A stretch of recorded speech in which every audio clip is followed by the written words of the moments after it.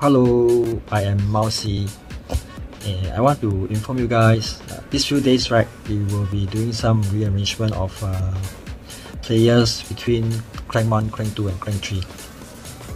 Uh, so for Clan 1, right, we want to focus more on Town Hall 15. So we will be seeing all Town Hall 15 in Clan 1, right? That will actually allow Town Hall 15 players right, in Clan 1 to discuss, to try to even uh, do attacks right together as top 50 in terms of the strategies, the CC and so on.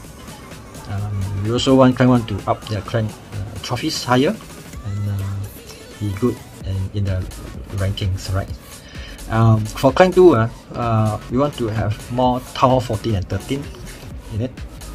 For clan 3, we want to have uh, more Tower 12 and below, right?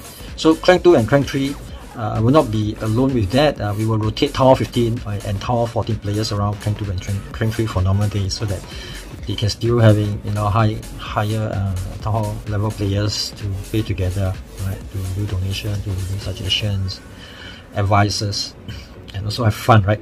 The main thing is to have fun in playing. Um, it's not a strict uh, Tower 15 for Clan 1, Clan 2, 14, 13, and Clan 3 12 and below, right? We can mix, still mix around, but this is basically the default uh, vision you want to arrange, okay? So uh, please bear with us if there are a lot of uh, callings, messaging, inbox uh, spamming, right, for you guys to move around. Okay, this is for normal days. For Clan War League, uh, for Clan War League would be more fun. Uh, because that means we need to distribute 12 15 players, each of the levels, right, 14, 13, 12, into different uh, clanks.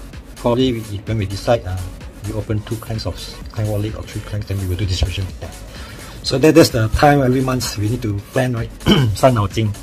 So uh, please bear with us, okay, this release. We try to arrange something like 1, 2, 3, 15, 40 plus 13, 12 and below for one month. Try. Please bear with us. Thank you.